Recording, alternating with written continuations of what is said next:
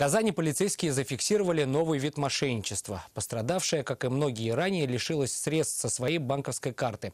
Но повод, благодаря которому женщина предоставила личные данные, до этого полицейским не встречался. Ее убедили, что можно получить компенсацию за услуги связи в связи с новой функцией в тарифном плане. Звонившего ищут. Уже установлено, что номер телефона зарегистрирован в Приморском крае. Динара Камалова о деталях обмана и на что надо обратить внимание, чтобы не попасть на удочку мошенников.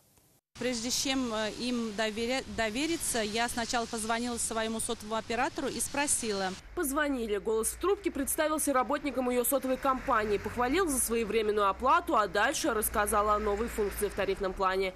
И благодаря ей клиентка может получить компенсацию за переплату представляемых услуг. Компенсация должна была прийти на мою карту. Они спросили номер карты, э, скажите номер карты, мы вам вашу компенсацию перечислим на вашу карту. Номер карты женщина не дала, а с официальным представителем сотовой компании связалась сама. Как оказалось, функции такой у них нет.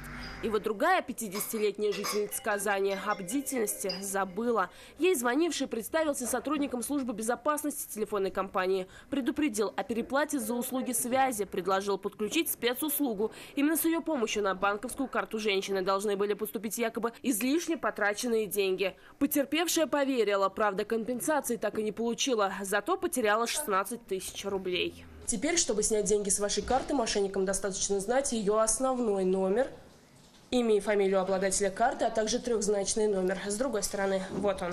Полицейские предупреждают, заманчивых предлогов может быть множество. Цель одна – узнать данные пластиковой карты, с помощью которых можно снять деньги со счета.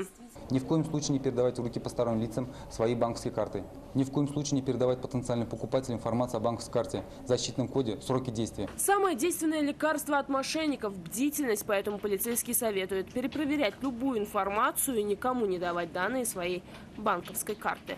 Динара Камалова, Константин Бушуев, вызов 112.